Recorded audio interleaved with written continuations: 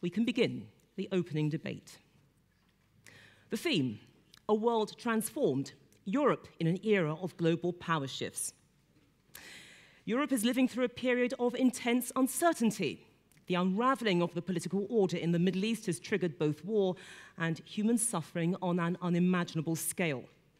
The sight of tens of thousands of migrants fleeing conflict in search of safe havens has not only tested Europe's legal borders, but it has divided EU member states over the amount of assistance that should be given to those who are desperately in need.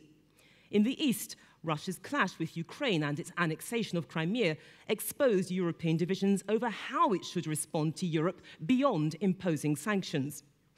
Meanwhile, Europe's political landscape is undergoing a profound transformation. Public rejection of austerity, along with contempt for so called ruling elites, has fed a resurgent left, whilst fears over unemployment and mass immigration have inflated the power of the far right. Indeed, we've seen that in the last few days in Austria. Elsewhere, global and regional actors jostle for influence in Asia as climate change and competition for dwindling resources risk igniting further conflicts in other areas of the world. So, where does this leave the continent in the revolving game of power play? Has Europe been overtaken by the tilt away from a world that was once so familiar? How much credibility does EU foreign policy have? Or is Europe now a minor player in a series of dramas over which it has very limited influence? Those are just some of the issues that will now be explored in this opening debate of the Dahrendorf Symposium, and in these, indeed, in the days to come. Now, today, four experts will each give five minute presentations outlining their response to today's theme. Once these presentations have been concluded, there will be a discussion, and afterwards, you will have the opportunity to put your questions to them. So I'd now like to introduce our four speakers. They are Nabil Fahmy, Dean of the School of Public Affairs and Public Policy and Professor of Practice at the American University. He's also the former Foreign Minister of Egypt.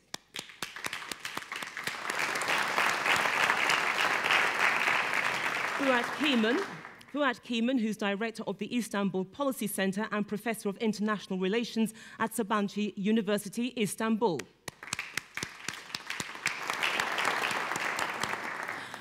Norbert Röttgen, who's member of the German Parliament and chairman of the Committee on Foreign Affairs in Berlin. Constanze Stelzenmüller, Robert Bosch Senior Fellow in the Center on the United States and Europe, Brookings, Washington, D.C.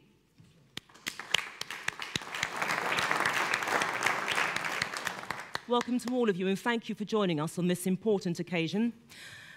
And the first of the presentations from Nabil Fahmy. The floor over there is yours. Where you are, please. Thank you, sir.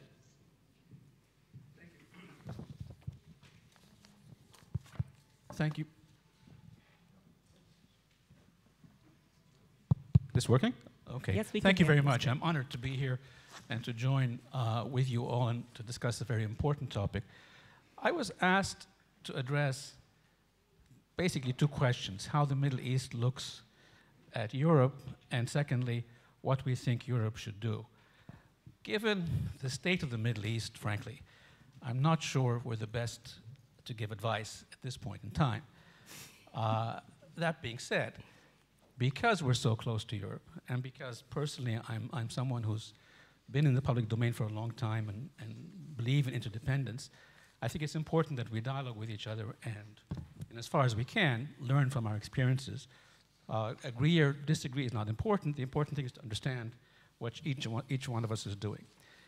Uh, five minutes translating from Arabic is impossible, so I'll skip a lot of the points I'm going to make, and I'm happy to address them in, uh, in the answer and question part. But first, my own region. The region, and I, here I'm talking about the Arab Middle East, although it also covers the rest of the Middle East if you go back 10 and 20 years. The Arab Middle East has been going through turmoil of change for two reasons. One, a deficit in managing change, uh, because change was going to happen. You have youth, you have communications, and you simply have the changing environment. But the absence of good governance led to the deficit in managing change. And secondly, uh, in, uh, and this is mostly North Africa, what you saw in Libya, Tunis, and in Egypt in particular. Secondly, if you move towards the Levant and, and down towards Yemen, you add to that element the issue of a not only a managing change deficiency, but also a national security deficiency, the overdependence on foreigners. And that's why you have in that area not only the problems of change, you also have so many regional and, non, and non-regional players playing in the change process. That's, what, that's the re- those are the reasons for change in our region. Now, because of that, you have a number of crises all at the same time uh, that are knocking on our doors internally and knocking on your doors uh, as Europe. And I'd like to sort of move um, into, into, into my advice to you from that perspective. Since I started by being candid about my own region, I, uh, I hope you're not offended by my being candid about what I think Europe should do also. The, the, the region, my region in particular, will continue to be through, through a change process. So you're not going to have a stable, quiet partner in that region in the immediate near future. But let me also say that with all the problems, and some of them are concrete and tangible, others are perceived and virtual, isolationism is not an option. If any of you believe that you can create physical barriers to hide behind the problems or to prevent them from coming into your region, it's not a problem. Europe needs to be engaged both within its own region but also in the neighboring states uh, because in today's day and age, we cannot solve problems by creating bar barriers. Secondly, it's important that we confront very, in a very straightforward fashion, a very unwavering fashion, extremism and terrorism. There's really no compromise with those who decide to use force and pursue uh, their, their means outside the legal parameters of a civilized society. We need to address that in a very robust fashion. But the answer is not only a security perspective or a security response, but that, given where we are today, will definitely be one of the components. But as we do that, I think it's important to caution you as friends that falling into xenophobic practices or a mood of intolerance will ultimately not solve the problem and it will fuel uh, further frustration that uh, creates, frankly, fertile fields for um, finding more, more extremists and more terrorists. Thirdly, you have been quite humane in trying to deal with refugees and uh, immigrants uh, who have come into your borders. And I think not to mention that would not be uh, fair to Europe. But in that humanity, I need to underline that allowing them to come into your borders is only one step. If they remain unassimilated, isolated, not part of your societies, and you're not part of their experience as they live in your own societies. So engaging constituencies that are in your own societies are extremely important. And I mention this, again, coming from a region where one of the fundamental reasons for what you're seeing in the Arab Middle East today is the breakdown of the social contract that exists between uh, the constituencies and those in government. The third issue is I'm a tremendous supporter and believer that you cannot resolve these problems by bringing in models from abroad.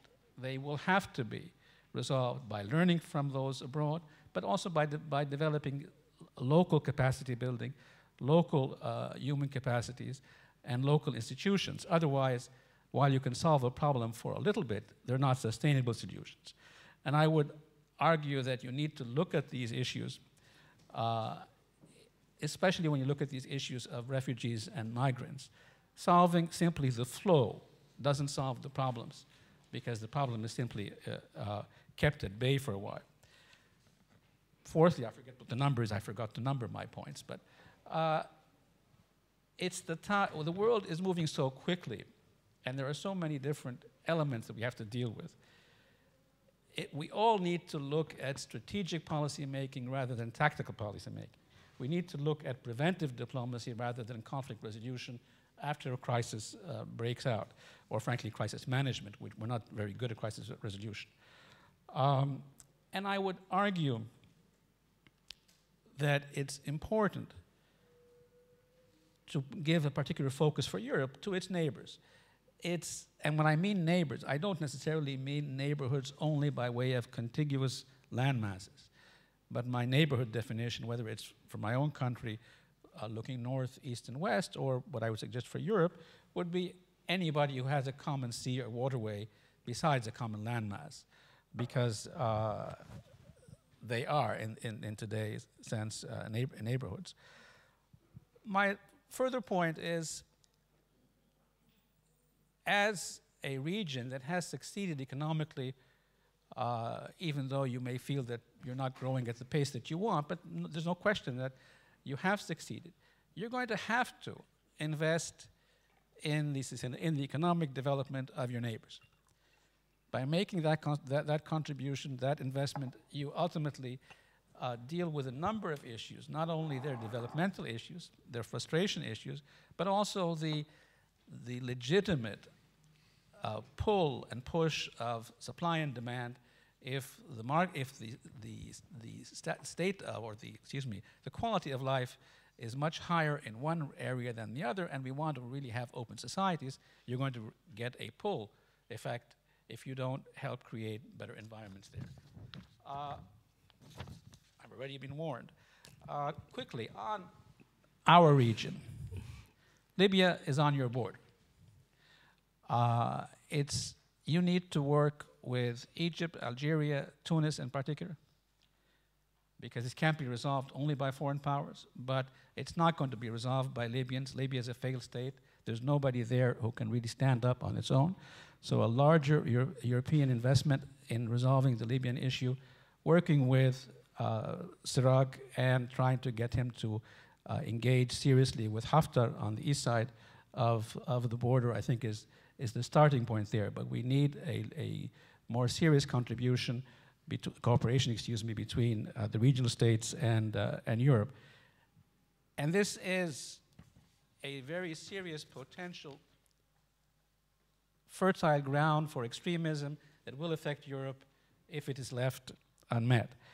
Uh, Syria, you mentioned Syria, or somebody mentioned Syria. I think you mentioned I, Syria, I mentioned in, Syria, in the yes. very beginning. It's not a topic that any of us can morally leave alone.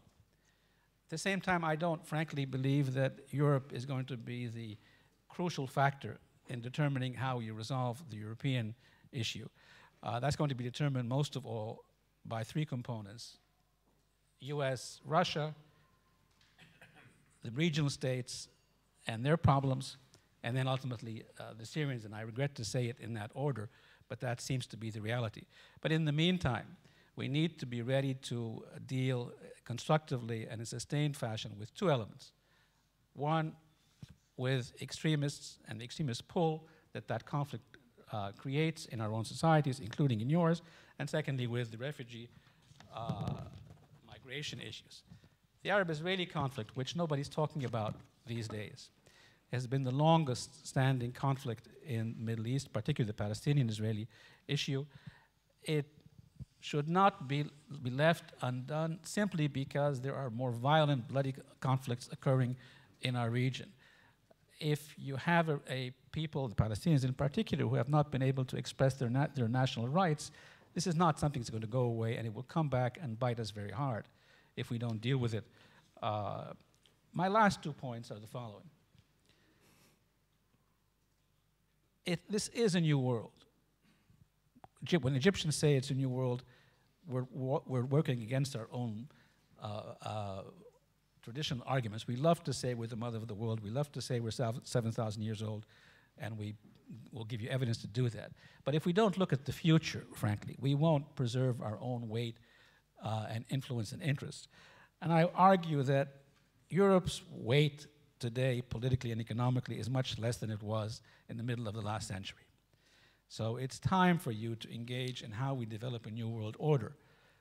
The pivot, using President Obama's word, economically, if you look at the middle class, is moving towards Asia, and politics will move in that direction as well.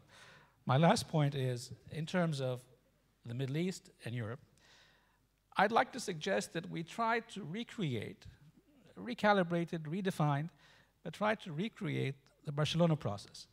Because unless Europeans and Middle Easterners feel that they have a common interest, trying to convince them to really invest in a common future is going to be futile.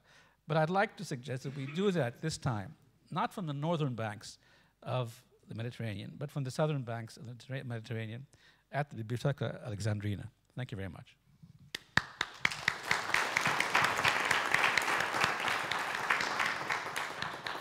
Okay, Nabil Fahmy, thank you. Can I introduce now the second of our speakers, Fuat Keyman, please? thank you, Juliette. Uh, and I'm honored uh, and delighted to be uh, here and to be part of the uh, uh Dahrendorf conference. Uh, as someone who did PhD in uh, Canada and United States, he was one of my heroes, and we always read him, talked about him, discussed him. So it's very honor um, to, be, to, be, to be here. Let me make uh, three points uh, to share with you my take on uh, what Robert said, uh, you know, uh, this uh, panel and to kind of setting up the agenda for the tomorrow discussions. My first point has to do with, with globalization, the idea of global shift, global power shift, which, which takes place in the title of the conference. As far as I can see, uh, there is a shift from uh, debates on uh, global shift uh, from west to east, global power shift, global power diffusion to, which is kind of a little passe right now, uh, to uh, very serious global turmoil, the global crisis, enduring, enduring global crisis. As a matter of fact, a multiple crises of globalization happening at the same time in the area of economy, in the area of security, in the area of climate change, poverty, inequality, exclusion. So, so in this sense, you know, when we look at Europe, when we look at any country, there is kind of a convergence in the sense that all these countries are being really affected by unprecedented challenges stemming from globalization. We are here in this world, in a globalizing world, confronting, confronted by these, these challenges, the only possibility to actually deal with them effectively is, is to, co to collaborate, to cooperate, to work, to work, to work together. Uh, we have to realize that uh, we will be living until 2020, 2025 in a very serious, profound global uh, crisis. This makes actually things very, very hard. But, but uh, in the next uh, five years, today and five years, this is my second point, all of these multiple crises of globalization were uh, concentrated around two significant uh, crises. One of, of and, and, two of them, and one of them is definitely Euro-centered crisis. One of them is the refugee crisis, and, and the second one is the ISIL crisis. These two crises, the refugee crisis and ISIL crisis, are occurring at the same time, an intertwined way, but they are separate crises. When we talk about refugee crisis, we are of course talking about the failed states in Syria and Iraq, and, and uh, we are talking about the escalating conflict in, in, in, the, in the region. For instance, when we talk about Syria and Iraq, we are talking about an, a geography in which we have internal wars, at the same time, we have proxy wars, and at the same time, we have geopolitical power games played on these these actually these, these, these countries. They are failed states. They are not able to control what goes on inside. They are not able to control their, their borders. So, so in this sense, uh, right now, for instance, we are talking about more than 6 million uh, refugees in Turkey, in Jordan and Lebanon. But if we actually move towards Africa and, and we look at the uh, you know, refugee mobilization, this is different from uh, migration uh, issue. When we look at the refugee mobilization in Africa because of terror, because of climate change, because of poverty, because of lack of access to water, food, and, and, and, and, and, and the clean environment, you know, we are talking about also a big mobility of people moving towards the Europe. And uh, put together, actually, right now, a refugee crisis is a very serious global channel, challenge. Uh, challenging to Turkey, challenging to the region, and challenging to Europe. But it is a Euro-centered uh, crisis. We are talking about around uh, 10 million refugees, and, and right now the United Nations statistics indicate that last year or so we have actually 1 million refugees coming to Europe, and Europe and the European Union, who is totally incapable of dealing with 1 million, how is going to be dealing with actually 10 million refugees in the next uh, three to five, five years. So, so in this sense, we have to actually concretize when we talk about the global crisis and the refugee crisis, as far as I can see, is a big challenge regionally, globally, and, and especially in Europe because it's a Euro-centered crisis. On the other hand, the ISIL crisis, crisis uh, is actually is one of the main uh, resources, one of the main causes for the refugee crisis, but it's not actually a, you know, a, kind of a directly related to this crisis. When we look at the actors involved in the ISIL crisis, we are talking about United States, we are talking about Russia, we are talking about Iran, Saud Saudi Arabia, and Gulf states and Turkey. Except Turkey, none of these states have to do with the refugee crisis. As a matter of fact, they don't want any refugee, and then no refugee wants to go to Russia, Iran, or, or, or Saudi Arabia. But uh, moreover, uh, these states are using the refugee crisis crisis uh, as a leverage uh, to actually uh, to exert their, their influence, widen their influence in the, in the area. And, and, and when we talk about why these countries are there, why these countries are so interested in, in Syria in the region, we see that they actually are not uh, there because of humanitarian reasons. They are there for geopolitical power games and, and, and, and enlarging and widening their geopolitical interests. So, so in this sense, the ISIL crisis happening at the same time with the refugee crisis function to accelerate the number of refugees, to make the refugee crisis much more complicated to deal with. So, so in this sense, Europe should be very, very careful about, about how to deal with the refugee crisis, not only in terms of the refugees, but in terms of a larger regional and, and, and, and global geopolitical context. This actually brings uh, me to my third point someone from Turkey, of course, maybe I should actually talk about the, the, role and the place of Turkey in it.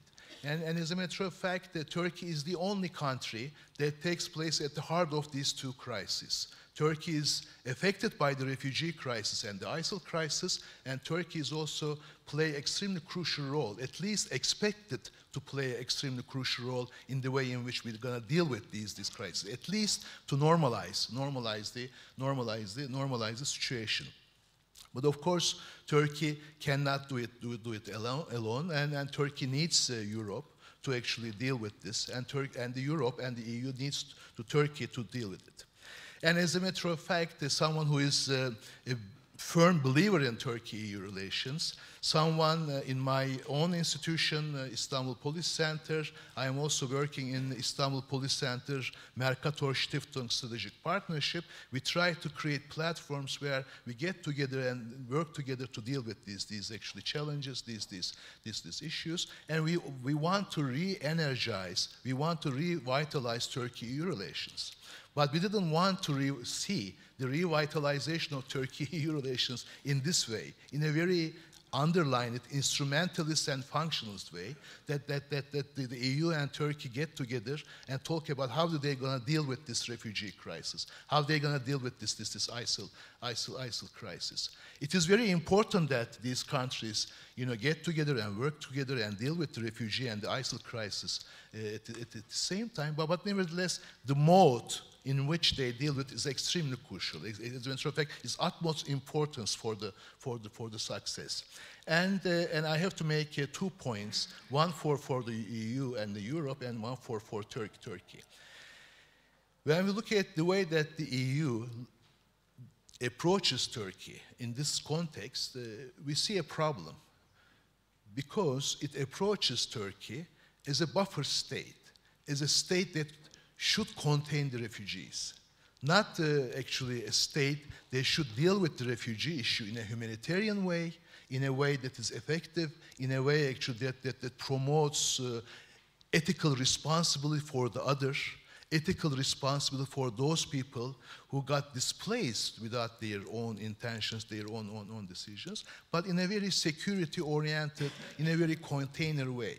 And then the more actually we talk about Turkey-EU relations within the context of the refugee crisis, the more I see that the EU's position on Turkey is not a country that is going through the full accession negotiations, a country with whom the EU should work together, collaborate together, cooperate together to create the, you know, better results, but, but a country who is supposed to be a buffer to the refugees, who is supposed to be the buffer to ISIL uh, terrorists and ISIL actually uh, uh, for, for forces. So, so in this sense, uh, it is important that, that the EU and Turkey get together to work together, but, but, but Turkey should not be considered a strategic neighbor to contain the refugees. Turkey should not be considered a strategic, you know, actor, a pivotal actor to buffer the refugees and, and the ISIL. I think we should go, go, go beyond it. But on the other hand, uh, when we look at the Turkey and Turkey's involvement in the refugee issue, we have to also criticize Turkey, or at least we have to actually tell Turkey to not to use the refugee crisis as a either political leverage for its own interest or EU leverage to actually get what it wants from, from EU fastly which means that actually, uh, as I see it, uh, when, do, when we deal with the global crisis effectively, when we deal with the multiple crises of globalization effectively, we have to establish mechanisms by which we could link together security, democracy, and economy. If we actually uh, focus on security at the expense of democracy and economy, or, or, or, or if you actually look at the security concerns by abandoning our commitments to democracy, by commitments to ethics, by commitments to humanitarianism, then actually we cannot create sustainable solutions to these extremely unprecedented uh, present challenges. In this context, uh, we do this conference. Let me finish with by making one more point uh, about Germany and Turkey relations. We do con this conference in, in, Germany. Of course, uh,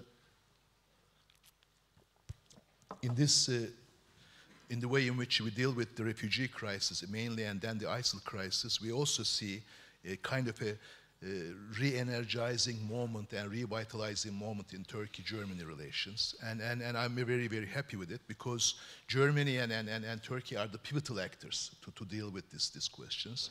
And when we look at the Europe, it is only Germany that could actually deal with these questions. And the other European states extremely actually, uh, I mean, the, the, way they, they perform, the way they think about the refugee issue is extremely uh, disappointing, at, at least I, I, I, could say. But, but, uh, but Germany and Turkey are, are there. They actually, in terms of the bilateral talks, in terms of the way they, they look at the situation, they actually to trying to do something, something, something about, about it.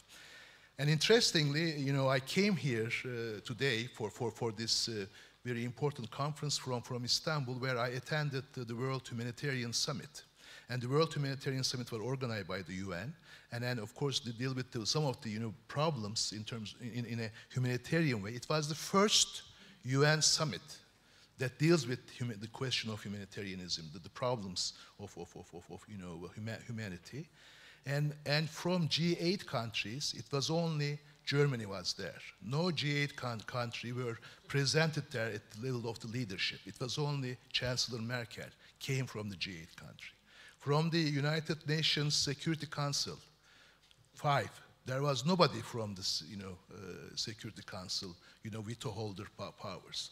So, so in this sense, uh, you know, we gotta be actually uh, a bit frank. We gotta, we gotta be, uh, you know, sort of discuss this issue frankly that, that, that these people should have been there. These people, you know, should have been in Istanbul to deal with, to talk about, about the humanitarian issues and, and, and, and, and the challenges that, that confront us, uh, confront us globally. So, so in this sense, uh, I actually uh, been, I am very thankful to, to Germany and the German Chancellor Merkel to be the only uh, leader in, in, the, in the first uh, World Humanitarian Summit. Because if I go back to the first point, if we are living in a multiple crises of, of, of, of, globalization, if we have a very serious challenges and these challenges are confronting us, but mainly in terms of you know, humanity, humanity, then we have to be humanitarian. We have to be moral dealing with these challenges. We have to talk about the right of the other. We have to talk about the, our ethical responsibility for, for, for, for, for, for those people. But by escaping even from the summits, uh, we cannot actually uh, perform and we cannot do what we are supposed to do to tackle with those. Thank okay, you. we have to leave it there. Some, plenty of food for thought there, lots of material to discuss. From Fuat Keyman, thank you so much. We now move on to the third of our panel speakers, and that is Norbert Röttgen. Thank you. Dear colleagues, ladies and gentlemen, Helmut Anheier encouraged us to challenge old authority. And so I, in a very Dahrendorfian sense, of course.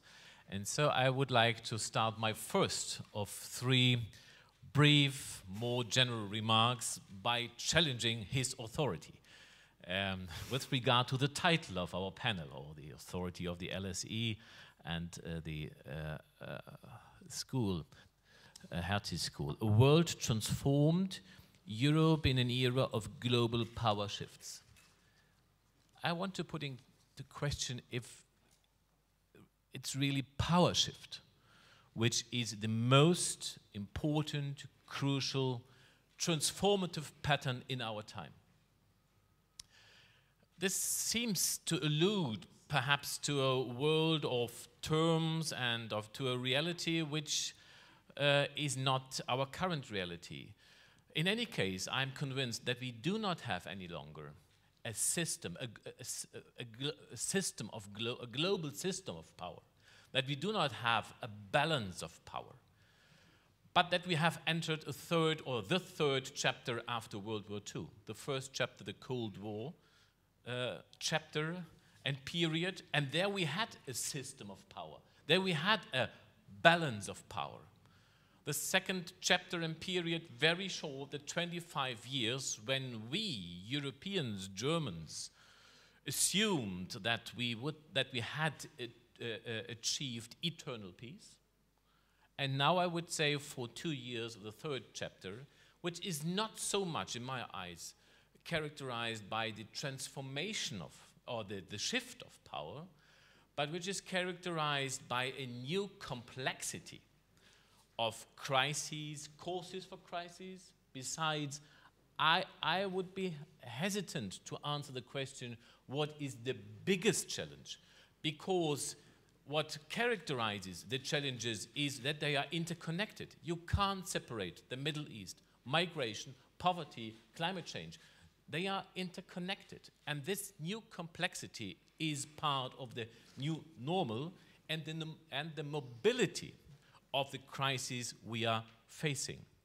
So, what is more characteristic in my eyes is the absence of a system.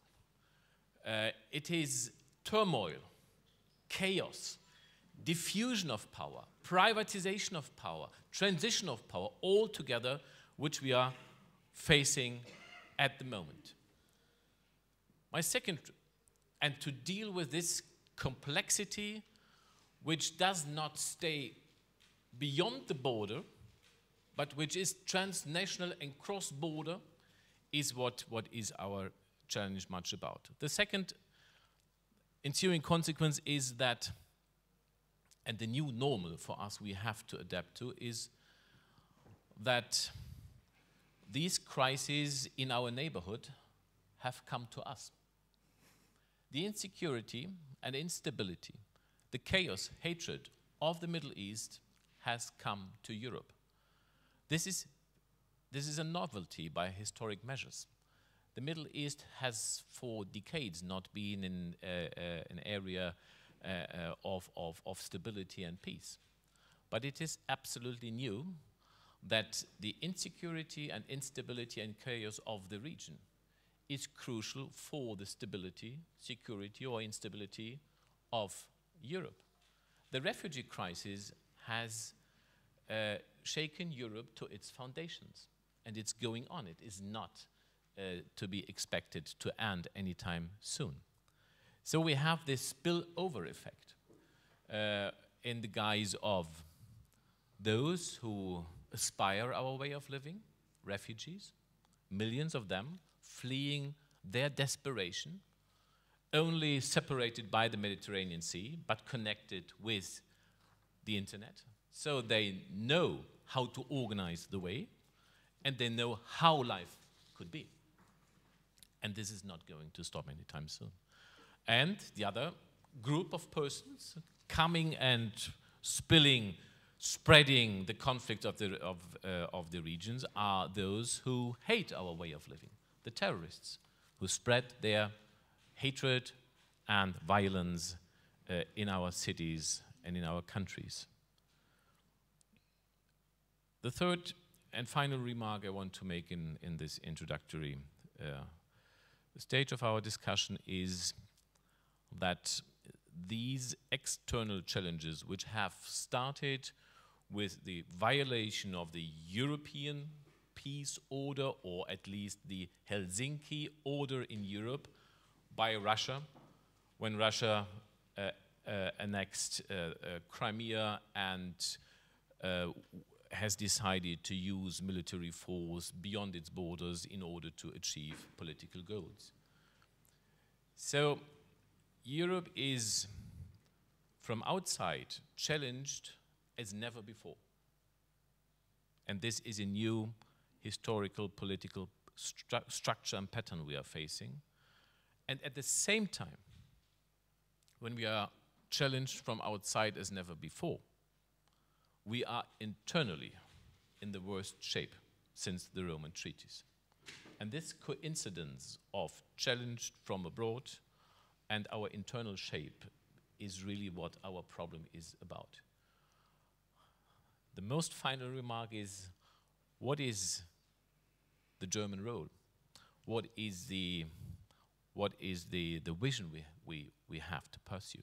I think the vision we have to pursue is to, to elevate, to rise uh, the EU, Europe, to become an actor in the field of foreign policy and security policy, which we are not, definitely not. We have a recrudescence of nationalism and state egotism everywhere, and I do not exclude any country when I, when I make this diagnosis of nationalism and state oriented interest policy. So we have to forge a unity which is able to act on the European, uh, on the international level, because there is one alternative. Either we will unite, we will speak with one voice, then we have a huge potential to influence and to have an impact. Or we remain separated in nationalisms, and then Europe is becoming definitely is, is becoming irrelevant. Then we are not shaping the world, but we are got shaped by chaos around us. The German role may be a leading role, but I would define this leading role as the responsibility to organize compromise, not to get through and materialize and realize German interests, because we do not want to have, we continue to reject a German Europe. But of course, as Hans-Dietrich Genscher always said, we want to have a European Germany. And the internal fabric of power within Europe has changed when uh, the euro met the international financial crisis.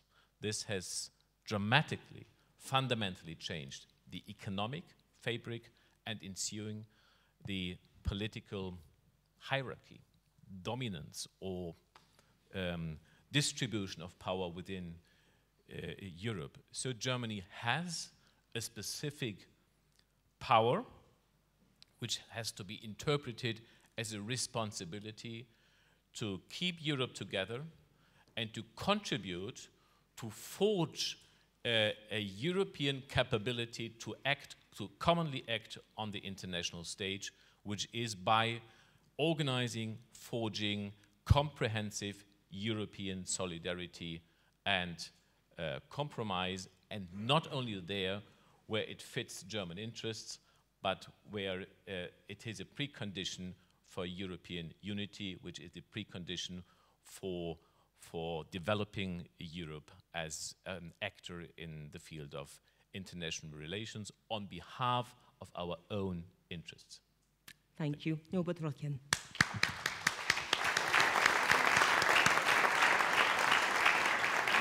the last of our panel speakers, Constanze Stelzenmüller. The floor is yours. Thank you very much. Um, I want to thank Helmut Anheier and, and the LSE for inviting me on this panel tonight. Um, I do wish to challenge your authority and foresight on one point, which is I think it's time to stop this still water business on panels. Espressos would be a good idea. But apart from that, I want to say, I want to say uh, that I actually met Mr. Uh, Lord Dahrendorf uh, very briefly. He, he wouldn't have remembered me. I was an unremarkable and insecure young person um, at Die Zeit when he had an office there to, um, to write the biography of Die Zeit's founder, Gerd Bucerius. Um, and um, I cannot, Lady Dahrendorf, I'd be very curious whether you share this impression, but I, I, having read his book with great interest, obviously, as we all did, I couldn't quite escape the sense that he approached his, um, his subject in a somewhat gingerly fashion. Um, I don't think he ever entirely warmed to Bucerius, who I think was both too neurotic and too much of a sort of buccaneering personality, as many media barons are, to entirely um, you know, win his, the author's sympathies. But anyway, there you are. It was a very interesting experience to have had. Um, now, why am I on this panel? I suspect it's uh, because of the role that I often uh, had when I, um, when I was still living here. I moved to Brookings a year and a half ago for a three to five year gig um, as a Germany explainer. And I was in Berlin, something of a Rent-an-Ami when they couldn't fly in an American. Um, and here I am again as a Rent-an-Ami. So I will uh, try and provide what I think is an American point of view. I know there are Americans in the audience. Feel free to challenge me in the Q&A. But um, obviously, uh, we sort of need to bring in the topic of Europe's relationship with America onto this panel.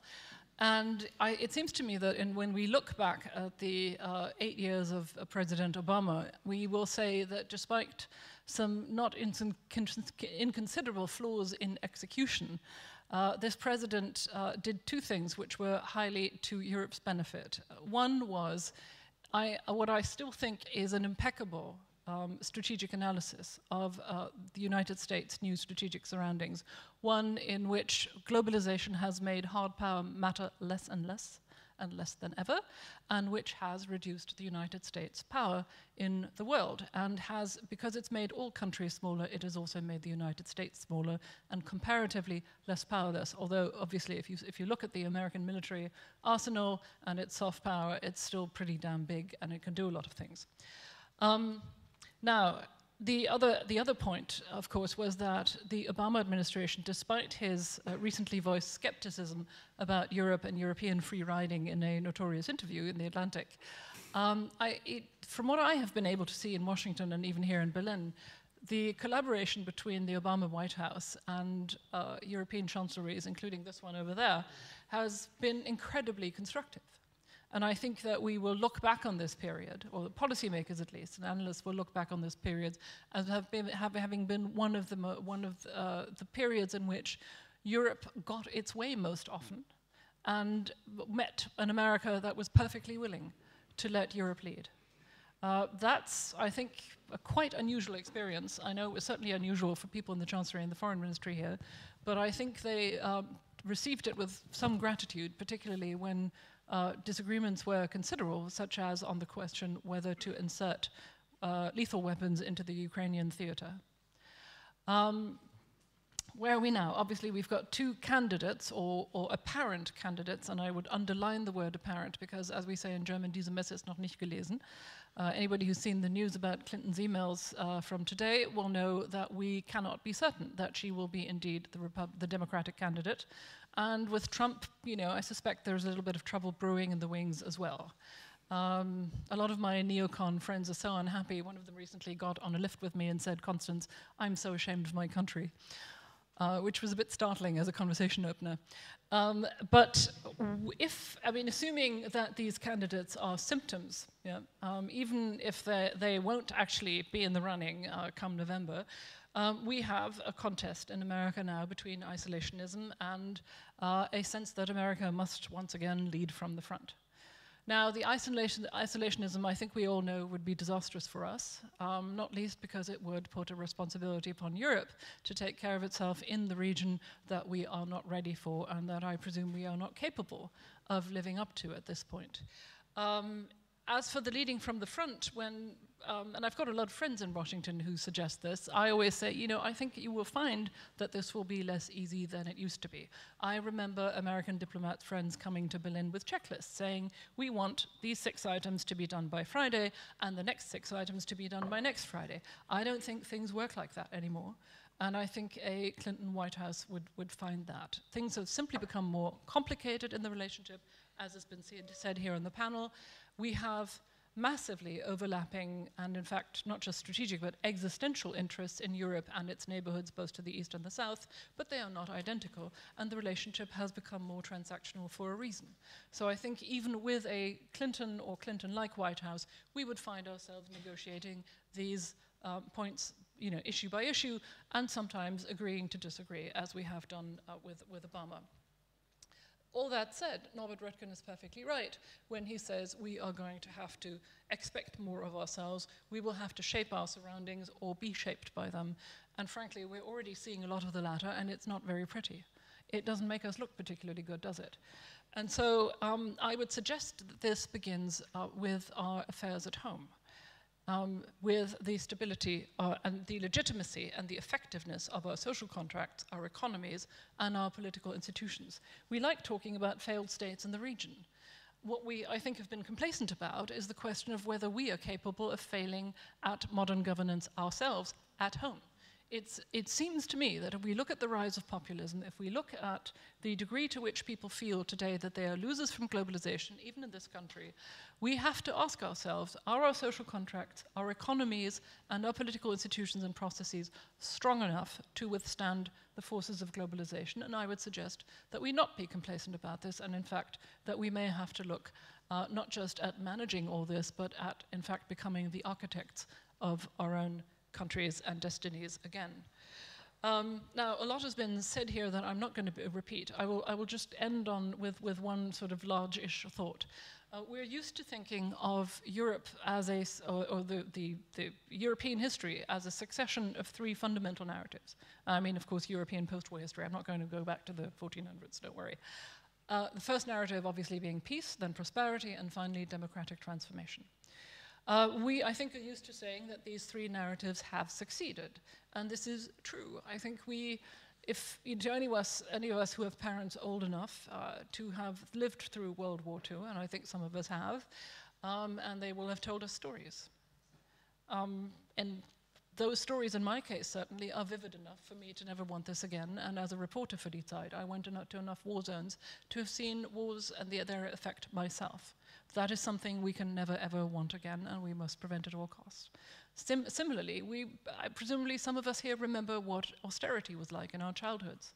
Our parents saving bits of string, this kind of thing. Um, again, I have vivid memory of that. I can imagine it coming back. Democratic transformation, I travel through Eastern Europe a lot. I, in fact, finished school in Spain right after Franco's death. These transformations are a reality. They are, they are formidable achievement of post-war Europe. They are absolutely admirable, and we can all be grateful that they happen. But let's not be complacent here. These things can be turned back, and we are seeing some of that happening across Europe. And I would never be, you know, I'm, you know, Germans are always nervous. We're inclined to worry. Um, but I, would say let's be a little more nervous about our own country than we have been. And finally, I'd say there's a fourth and new narrative, and these three still remain, and we still need to fight for them.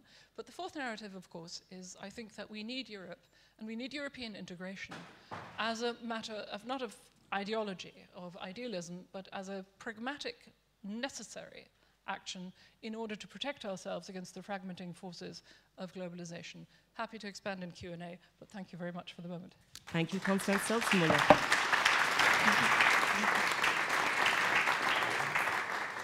Some interesting thoughts, but the, the vibes that I'm getting, certainly from some of the earlier speakers, is that we, as in Europe, doesn't really understand how everything is connected. Might I add to that that if we don't understand, we can't be proactive, and by default, America leads the foreign policy. Who'd like to tackle that? Shall I choose somebody? Norbert, you're leaning over to your microphone. I, I would add, and then America decides not to lead any longer, but perhaps to retreat to a certain degree. And particularly in a region, as Obama announced in the Atlantic, in the famous or infamous Atlantic interview, in a region which has become the Middle East, of which he said that the Middle East is not any longer that terribly important for the US. But at a moment when the Middle East. I think e we know that's wrong, but anyway. Yeah, but he, he, in any case, he said it. At a moment when the Middle East is the most important region, has become the most important region for, uh, for the European Union and for the Europeans. Yes, you're right. After he had he said that, he has re-engaged, uh, but after after a period of a certain uh, uh, of a certain retreat in this uh, region. And so I would say this part of his foreign policy was not that very EU friendly because he caused some problems and then he withdrew from the region. Uh, and uh, and I think he has not, not really come back to, to a situation where, where Obama challenges or invites the Europeans to share a leadership with regard to the Middle East. So we have this lack of readiness for leadership and shaping particularly the region, which is very, very important for the Europeans. Sorry, Constance. Oh, well, Yes, I mean, obviously, I think you know it's somewhat disingenuous to suggest, or maybe the president was just having a sort of bad day. Uh, it, did sound like a bit of a grumpy interview, um, but I think it's um, you know unlikely that America is going to withdraw from the Middle East anytime soon. And I agree that uh, the Obama White House made a couple of rather significant mistakes. All fair enough. I can, however, understand a president becoming a little irritated with Middle Eastern leaders, including the Israelis. Um, I, you know, they haven't, uh, I mean, they've been a bit of a sorry sight, a lot of them. Um, and I could, I could understand after eight years someone saying, all right, I am done with this, and somebody else can please take over. Uh, that said, I think that um, if you, it's all very easy for us Europeans and Germans in particular to accuse Americans of sins of commission when, uh, frankly, we uh, are, are rather vulnerable to the charge of sins of omission. In other words, we have tended to sit back and say, let's watch the Americans drive the car into the wall again on this one. Uh, when the reality is that a lot of what is going on in the Middle East is a lot closer to our own strategic interests and, in fact, to our front doors. And as we're seeing now, people are coming through those front doors and we're not going to be able to stop them. So we have an intrinsic, existential, strategic interest in order in the Middle East.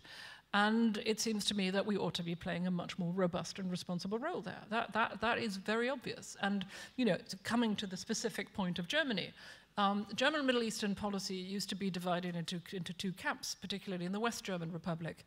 You were either, you know, a staunch friend of Israel or you were a friend of the sheiks. And there wasn't really, you know, these were sort of black and white positions, and there wasn't a lot of middle ground between that. And that has completely changed, exactly. I mean, we are now in a, in a position where I think we're trying to connect the dots um, and trying to come to a somewhat more robust. But we're connecting um, the dots policy. from behind the curve. We've been overtaken by events. We're absolutely behind the curve. This is very true. And certainly we need to do more. And I think that, frankly, is going to involve, uh, I mean, you know, if I knew, if, if I could uh, lay out the outlines of a successful European and Middle Eastern policy, I, I probably wouldn't be sitting here. but let's keep it on the Middle East for one moment, because how can Europe have a credible foreign policy, given that A, it has been overtaken by the refugee crisis, but look at what is happening internally. It is that crisis, as I said in my introduction, that is fueling some of the extremism within our own borders. So why, why should the Middle East, some of these countries in crisis, look to Europe as the, peace, as the peacemaker here? Well, I think you asked the question in the wrong way, if I may say so. If you think anybody has an immediate answer to any of the problems that we're facing, that's not true. All of these problems. Well, then let's whittle it down Europe's sure, credibility. Sure. All of these problems are serious, complex, and will take time to resolve. But you're right. If you ask a Middle Easterner today, look at Europe and ask them to come and solve it, frankly, we'd be, we'd be asking the wrong question because Europe can't solve it alone. We need to be part of that. and it's also much more complex. The world has to be part of that. But to give you a, a, a precise answer, in, in my presentation, I intentionally mentioned the issue that we need to have strategic policies rather than tactical ones. If we run after the tactical, the tactical pressing issues, we will end up all over the place. We will be guided by the terrorists, the extremists, those outside the system, or by anybody who can create problems. Uh, the specific case of the Palestinian-Israeli negotiations, for example, even before ISIL and ISIS and what happened in, in Syria, the quartet, the quartet was looking for the lowest common denominator, not between the regional parties, but between the UN, the US, Europe, and Russia. And frankly, Europe was basically waiting to see how far America could go, rather than trying to take one step ahead of America while being a very close friend, and therefore giving America even more room to negotiate. So, look, I tell my Middle Eastern friends don't look towards foreigners for the answers, but look towards foreigners for help but you have to play a prominent role. And I say the same for Europeans. If you think we can solve it alone, you're wrong. I don't blame you for all our problems, but you shared in a lot of them, believe me. But we need to work together because they, they won't be solved alone. Can I get your response to that, Fuat? so far, uh, before the uh, refugee issue turned out to be a crisis, uh, the, the ISIL turned out to be more than a problem, but a crisis you know, uh, challenging not only the region but Europe. And as Norbert Sorry, puts it, uh, you, you know, refugee and uh, you know the extremism or terror get together and, and, and coincided. Of course, a number of crucial mistakes have been made by, by, by Europe. It, they could actually revitalize the Barcelona process. They could actually, for instance, as Zbigniew Brzezinski suggested, they could have a strategic choice to uh, strengthen their, their relations with Europe and, and Turkey. Maybe if Turkey-EU relations got better, then we might actually have a better position right now, you know, in, the, in the, dealing with it. But, uh, but uh, interestingly, we are actually uh, in a situation where it is very, very difficult to deal with these problems. For instance, uh, the refugee problem cannot be solved either we establish uh, states in uh, Syria and Iraq, then, then uh, Libya, then Sudan and, and Somalia. As a matter of fact, European Union is a post-nation state, you know, structure, whereas right now we are going back to Westphalia because we are talking about what Huntington was talking about during the you know, 70s, the need to establish state order and stability before democracy. So everybody is talking about state order and stability because we have an extremely serious humanitarian uh, problem. But, but on the other hand, uh, you know, uh, to actually sound pessimistic uh, should not be conceived as like we are in a situation where we cannot do anything. I think we could do a number of a number of things. For instance, if uh, Germany and Turkey, if, if, if, if EU and Turkey get together and look at the refugee issue, not in a buffer state uh, mode, not an instrumentalist mode, but, but in a kind of a humanitarian mode in which we could actually bring together security issues, economic issues, and, and, and democracy issues. That means if the EU looks at Turkey without abandoning uh, the, the, the, problem and the question of democracy in Turkey, then of course uh, we might get a you know, uh, sort of uh, way out. Let me say one more thing about this. Uh, for instance, if we approach Turkey as a buffer state, as a container to refugees and to ISIL, without talking about internal democratization problem in Turkey, then uh, we are also a mistake in terms of the refugee crisis because uh, that uh, lack of democratization is accelerating conflict in, in Turkey, and, and, for instance, uh, last two years we had a big Kurdish question, but we know that in order for Turkey to deal with the refugee issue, to deal with ISIL better, there is, there is a need to have a great bargain between Turkey and Kurds. domestically and, and, regionally, you know. So, so in this sense, I think it's more. Is I agree with my friend that more strategic thinking, more strategic choices are, are, are necessary to make than everyday sort of tactical approaches to these extremely serious Okay, let, hold, hold on to that word democracy, because in actual fact, just from the corner of my eye, I can see a question that's been submitted anonymously. I'm slightly jumping the gun here, but I couldn't resist this. Uh, whoever takes this one first, it's entirely up to you. Are the current interlinked crises exposing Europeans, in brackets, and much of their governance as non-democratic? Who wants to tackle that? Can I do this? I'm sorry. I'm, I'm, this, this is one I feel strongly about. Uh, I think that's, a, uh, I mean, the, the, uh, answer to that is a resounding no. Um, and I, I have to say, as a, as a liberal Democrat, I object resoundingly to the, uh, fundamentally, to the notion of democracy espoused by Europe's populist movements, which say that the body politic is a unitarian force, yeah, and that whatever the body, body politic says is right. Yeah, that's, that's this far away from saying might makes right. And liberal democracy, representative democracy, is something entirely different. Yeah. So um, I, in fact, what I worry about far more uh, is, is that we are making deals with autocrats, uh, with Erdogan, with Putin, with you know, potentially a host of others, uh, in order to preserve our, our little post-Kantian paradises. Is it because um, we're trying to preserve a paradise, or is it something called realpolitik, better the devil well, you know? All right, but, I mean, a combination of the two, perhaps. I mean, I, I think the, the, the paradises are, are, somewhat sort of less flashy looking these days. But um, again, I, I think that we sacrifice our, legit our legitimacy as Western liber liberal democracies at our peril. That is what distinguishes us from the realm of Vladimir Putin. That is what distinguishes us from, from Recep Tayyip Erdogan. This is what gives us soft power and gives us strength. Um, and if we forego that, if we sacrifice that at the altar of expedience and making deals with autocrats, um, we essentially pull the rug out from under ourselves. Yeah, so I, I am all for Merkel so how, know, how, being, but how would we, tough with Erdogan. But how would we deal with, with Erdogan? Because look, at the end of the day, he is a very important player in the refugee crisis, and, he, and well, we're, we're, treating him know, as a buffer state. Look, You're there the, to contain this the, bit of humanity until we work out what to do fair, with these fair people. Enough, fair enough, and yes, we need him, and yes, he may think that he has us by the short and curlies. But, um, sorry, I probably shouldn't say this. But, um, just strike that. Um, but the... The, the reality is that he needs something from us as well. He needs validation, he needs partners, and he wants, he very much wants a visa, visa freedom for Turks. He wants to trade with us. He wants to deal with us politically. And I think, you know, we shouldn't sell ourselves cheap. Um, I, I think that that is, uh, I mean, it's worked with Putin, it seems to me. Has and it really worked? Yes, it has. Absolutely. No, I think that Putin has been very unpleasantly surprised by the He's degree still of resistance. Crimea in spite of EU opposition. Fa fair enough, but I, I can imagine that Putin thought he could do a lot more. I mean, that's why his troops are in Donbass. Um, and I think that we can see, I mean, we can probably go on to Russia, and I could, I mean, I can certainly do chapter and verse on this, but I, but I think that withstanding uh, people like this is, is what we have to do. And um, I think in the end, there is going to be a lot of noise, uh, but, but in the end, deals will be made that are not embarrassing for us. Okay, Norbert. I mean, oh, sorry.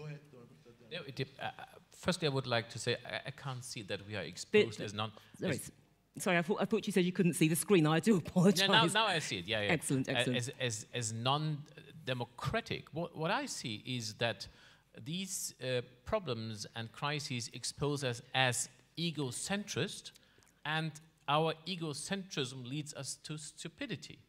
Uh, everybody tries as long as possible to turn a blind eye to a new reality, and by this, problems are getting bigger and bigger. Uh, also, the Germans, when the, when the refugees were in Italy, we turned a blind eye to them and did not claim this to be identified uh, a European problem. As long as it was possible, we turned a blind eye to this situation. And the same is true. So there is no so so uh, uh, uh, moral privilege uh, uh, in Germany when we say we this is a question of solidarity. Yes, it is a question of solidarity, but we we we have stated this when when the, the refugees were in Germany the, the, the, the, question of the question of, of how to deal with Turkey. The, the big question is: Does Erdogan have an absolute priority to establish an authoritarian system in Turkey? If this is true, it will be very hard to come to any kind of transactional deal or to any kind of not only, and I agree very much with you, not only identifying and, and, and treating uh, uh, Turkey as a buffer zone, but to come into a closer uh, economic, cultural, political cooperation, which we now, when we face the problem of refugees, are determined to do. At least in Germany, we want to do that because now we have the problem. We missed the opportunity years ago uh, when, when Erdogan wanted to have closer uh, uh, cooperation with us. Then we did not make use of this situation. Now this, the interests have changed and we want to seize uh, the moment. But the big question is does Erdogan really want this or is his priority to transform the internal political system towards an authoritarian regime, which I am very much afraid of?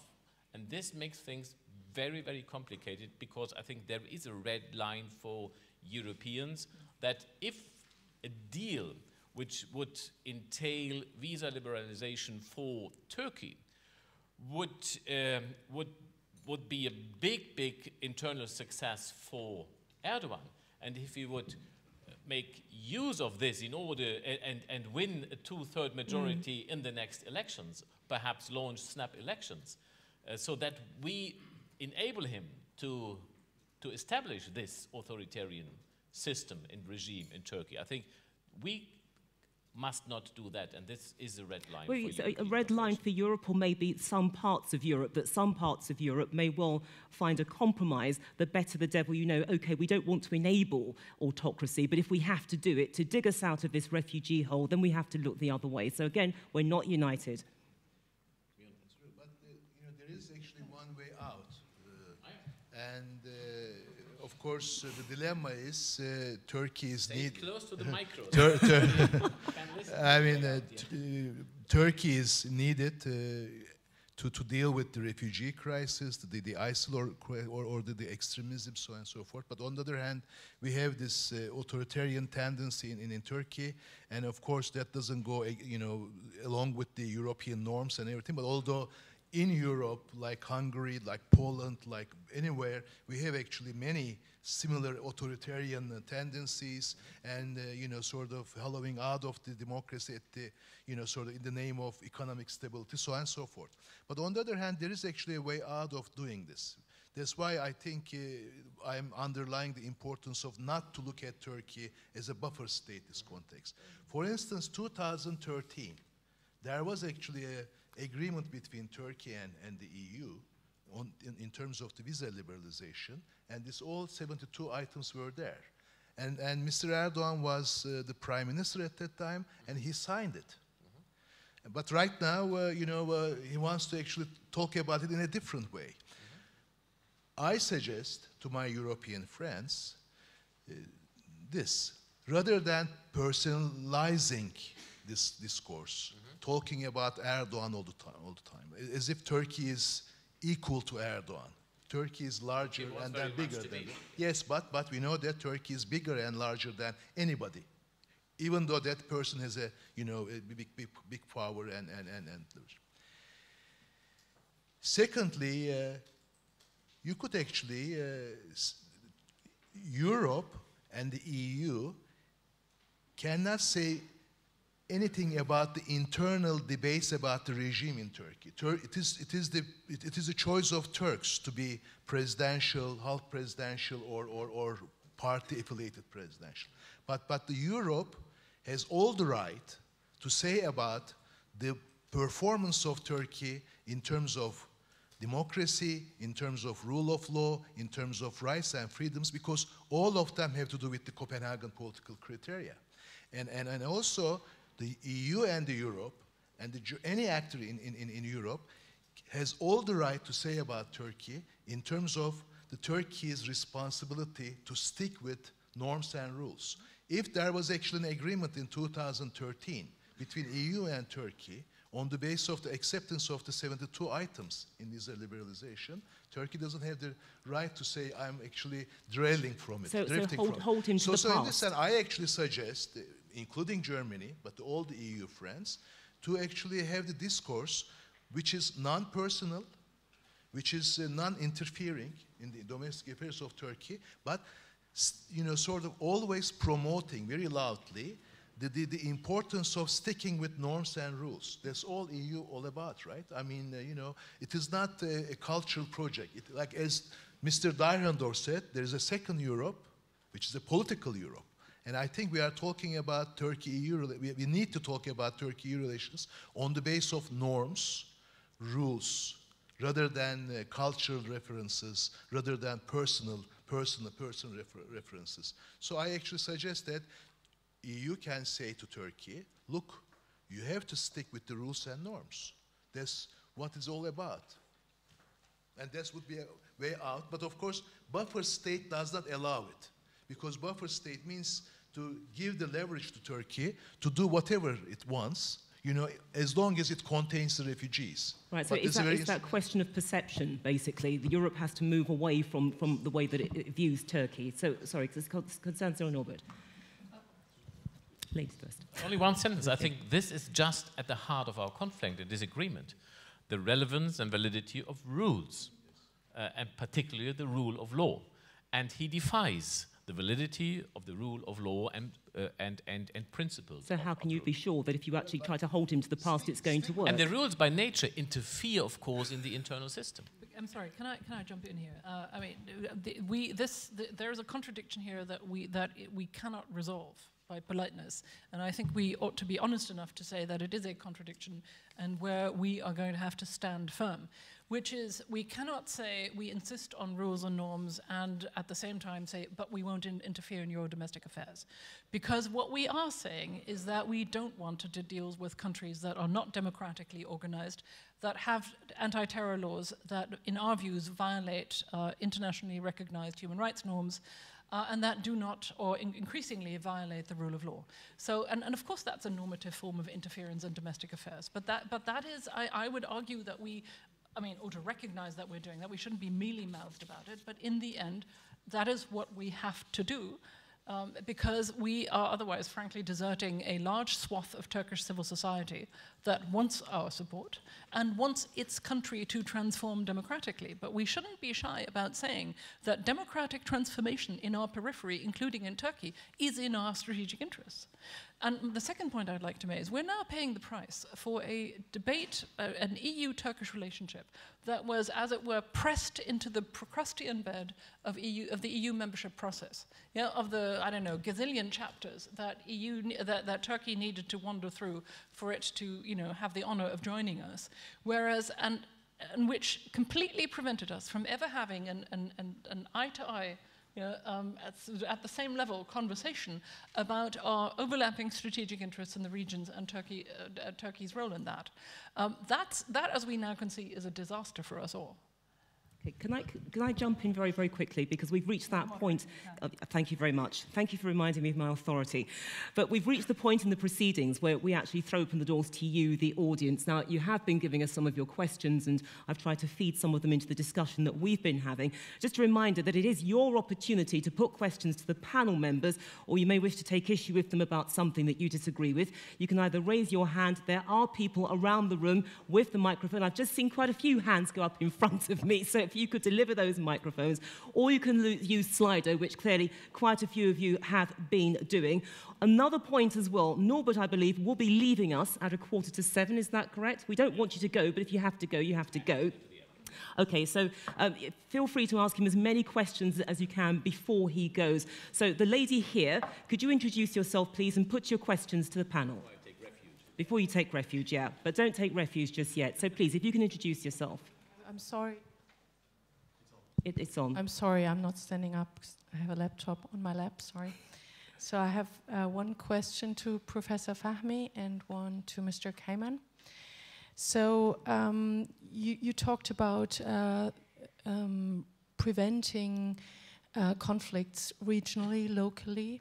When we're talking about um, political extremism, you surely have some experience from your former work in the government of Egypt. So, um, could you share any thoughts on uh, how we could deal with um, the branches of brotherhood that are swapping over here to um, Europe, especially also into Germany? And um, or do you think that our soft approach towards these organizations in the regions, like Daesh, for example, um, could be part of uh, the Sykes-Picot too? as we speak now in the Konrad Adenauer Stiftung, not far from here, I think, in that way, they are having uh, a panel whether, um, let me quote, um, whether Hezbollah and IS or whatever branch of the Brotherhood, they, they formerly had Daesh mentioned as well, uh, could be future partner in diplomacy. So I don't think that this is a naivety. I think this is a part of the plan to implement Sykes-Picot. What are your thoughts on this? Okay, so two and questions my there. and my question to Mr. Keyman, you were talking about not uh, making uh, the whole approach towards Turkey a, personal issue, and Mrs. Uh, Stelzenmüller has explained that there are norms and rules that are obeyed or followed, and these criteria are exactly that are in the focus. And so I'm asking you, um, do you think that this leadership is trustworthy since there has been proof of collaborating with IS or ISIL, as you call it? Okay, can we get the, the response to that from Nabil? Because you've got two questions to answer there. Sure. Uh, they're very complicated questions we're all, all of us who want to be inclusive, find this tension between where do we draw the line between freedom of ideas, freedom of expression, and policies that are simply unacceptable with our system of government, per se. And that, frankly, is what's happened in the Middle East. Uh, you mentioned the Muslim Brotherhood, others will mention others. Uh, let me give you the Egyptian ex uh, experience. Uh, between 2011 and 2013, the Muslim Brotherhood was legal in Egypt, and the president Morsi was elected. Uh, so we tried that experience. Uh, the challenge to Morsi first came from the liberals in Egypt, not from the military. It came from the liberals, essentially, from the National Salvation Group. And the reason they did that is they felt that the Muslim Brotherhood, the Egyptian Muslim Brotherhood, felt that Egypt was part of the Brotherhood, not that the Brotherhood was part of Egypt. So e Egypt's identity was being changed as being part of the Muslim Brotherhood rather than we may disagree with the Muslim Brotherhood, but they're part of Egypt. So then they have the right and freedom. Uh, my answer to you is for, I think our boundary has to be if any organization accepts the nation state system and accepts to work within the nation state system uh, with our respective constitutions uh, as they may be, then they have to be given the, the, the, right to participate. If, on the other hand, they don't want to accept that nation state system, then obviously they're trying to break the system. And they're trying to do it in a violent fashion rather than in uh, in, in, intellectual fashion. And that's really where the, the, the, challenge comes. I don't yet think, and, and if you follow what's been happening now in the Muslim Brotherhood throughout the Middle East, different rumors about who wants to break away from the Brotherhood in Tunis, for example, and only be a party rather than part of the Muslim Brotherhood uh, network as a whole. It's not clear uh, where they are on this. So my, my, my answer on this point is, as of now, particularly in my country, there is tremendous suspicion that this is just a maneuver and that they still want to make the country part of the brotherhood, and that's something which simply we can't, we can't accept. You have to be serious and critical in how you listen to these ideas. Because, again, leave the brotherhood aside for a second. Let's just leave them aside for a second. If you look at 9 11, what happened in 9 11 were Arabs training in Afghanistan, networking and planning in Europe, including in Germany, and then attacking North America.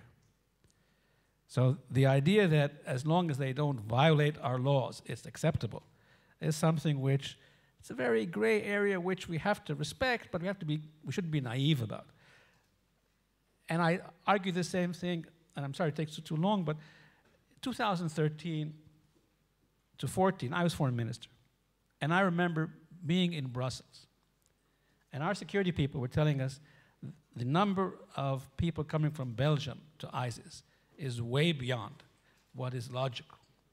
So I was sitting with the, with the Belgian foreign minister, and I said, My friend, careful here, because if our figures are right, this doesn't make sense given your population. And his answer at the time was, They're a kilometer and a half away from where we're sitting. And he told me, This is exactly where they are. But they weren't taking the issue itself seriously enough that it actually would affect them. It was still something that was affecting us in the region. These things don't, one, one can't be ruthless, but you can't be naive.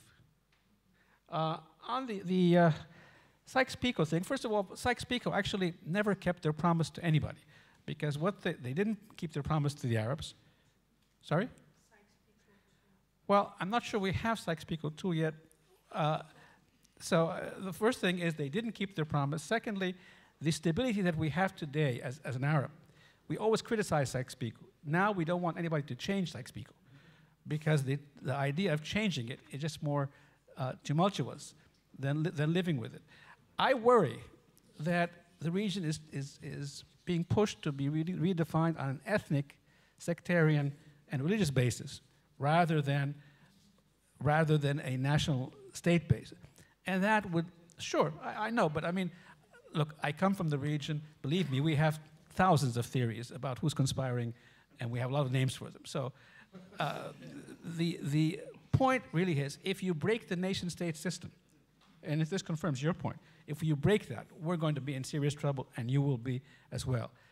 But we can't afford not to transform it because we need to create a better uh, social contract with our different constituencies so that they find satisfaction in their own citizenship within our own systems.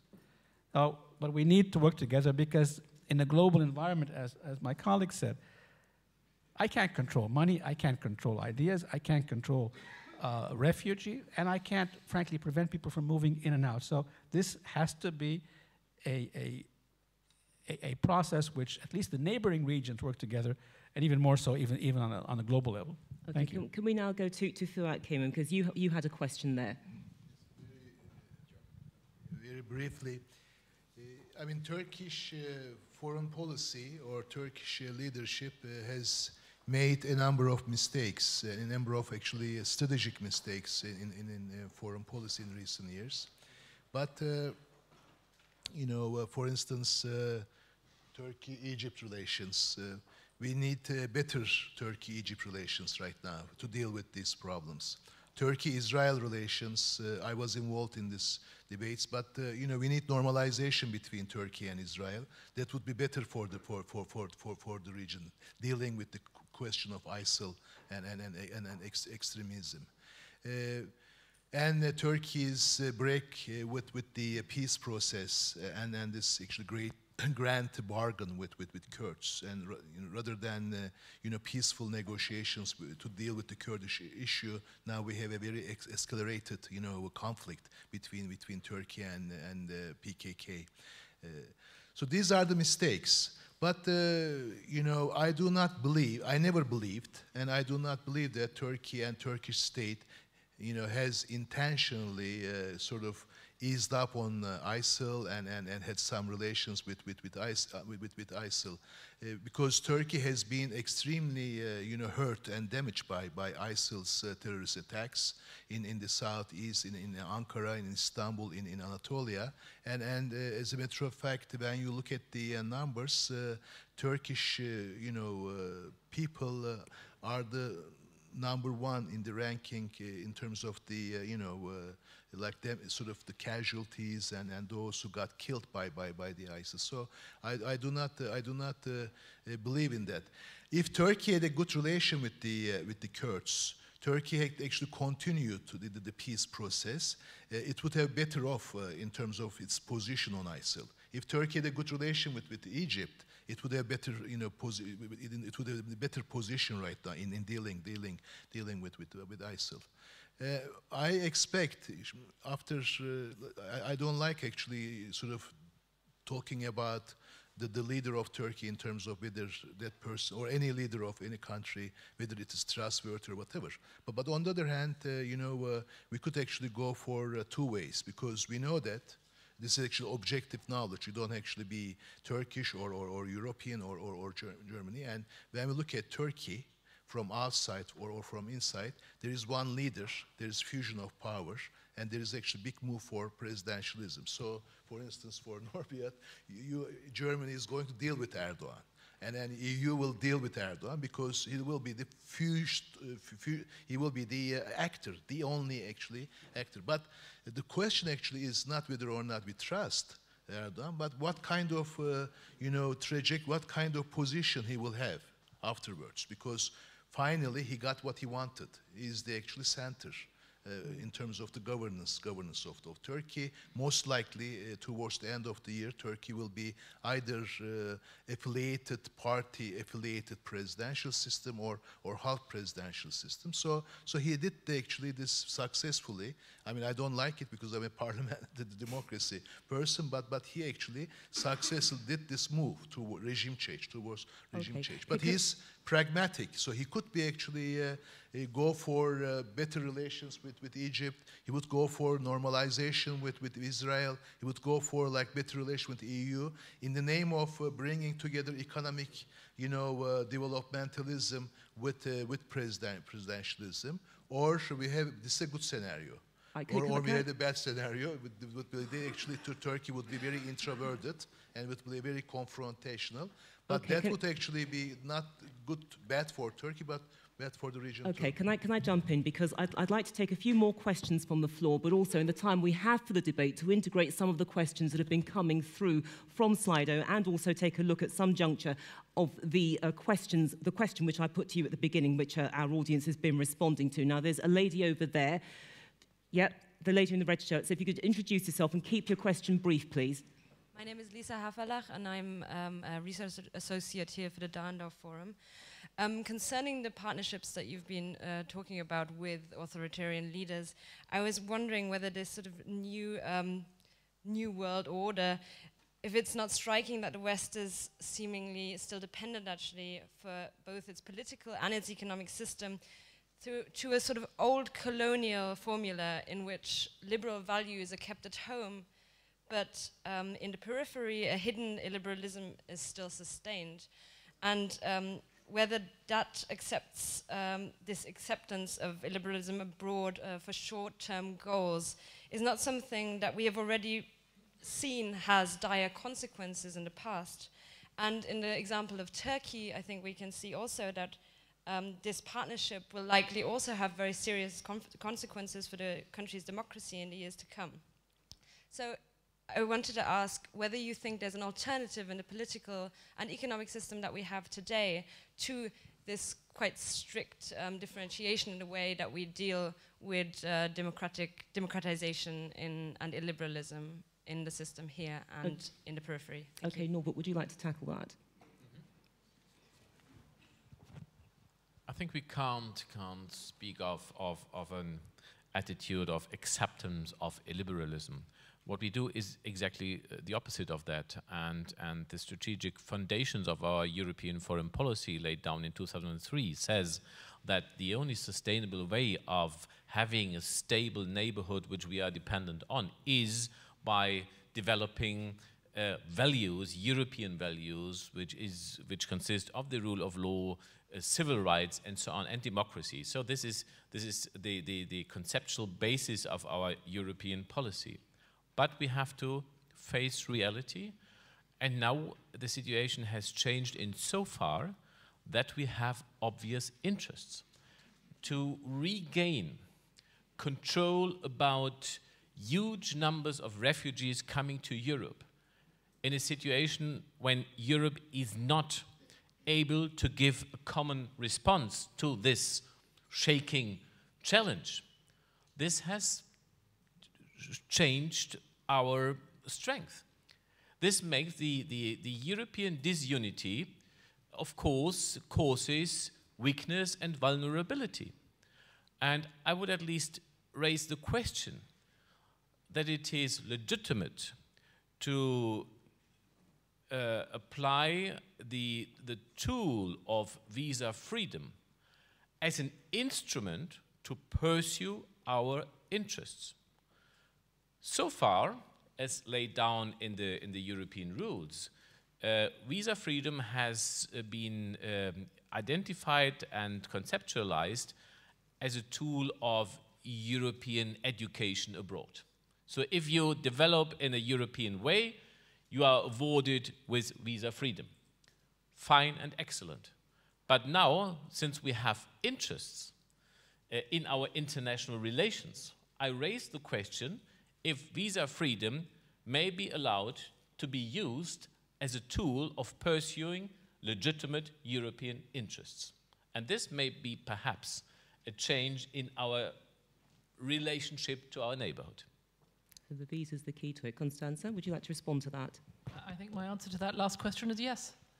Short, I mean, sharp it's, simple. it's, I mean, it's, honestly, it's in the same way that we used sanctions to express our extreme disapproval Yes. towards Russia, and that had consequences for the Russian economy. But this also Yeah. is a new invention. We haven't done this in, in the entire It's not, oh, seriously, it's not a new invention. Um, I mean, honestly, we always had the tool. We were just reluctant to use it. Vis-à-vis Russia, it is an absolute interve- uh, but but y- y- yes, was, uh, that's what I'm saying. The tool was there. We were reluc- reluctant to use it, and we were forced to make a choice between our own our own norms, our own ideals, what we stand for. Yeah? And frankly, that would have been a too high price to pay. Hence, hence we went for sanctions. And surprise, surprise, and I think it was frankly a big surprise to a lot of the foreign ministries in Europe. It worked. It had an impact. So I suggest that we stay tough on, on, on, on Turkey. Um, again, they know they need us, we need them, and there is a deal to be made, but not at any price. End of. The, the gentleman over there, because he's been extraordinarily patient, so thank you for that. Could you introduce yourself and keep the question brief, please? Andreas Umland from the Institute of, for Euro-Atlantic Cooperation in Kiev.